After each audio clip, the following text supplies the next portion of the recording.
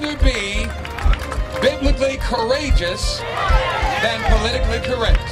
Bishop Harry Jackson is the senior pastor at the Hope Christian Church.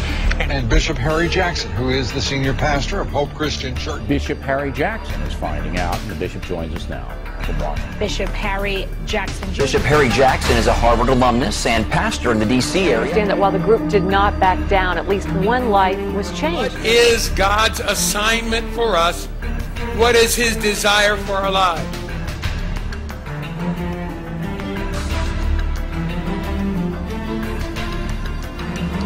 But what happens when the nation has lost its way?